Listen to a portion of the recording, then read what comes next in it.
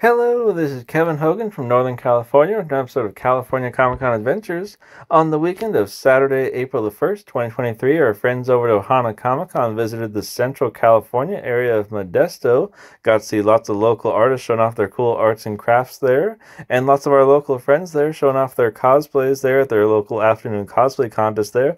Got to see lots of anime characters, some Star Wars characters like Darth Vader there, even some giant uh, robot furries there from Five Nights at Freddy's walking around there on the sunny day there. Ohana Comic Con, as you know, visits a different city every weekend. They're traveling up and down the state of California there, often the areas with free parking there, and they're very economically priced there.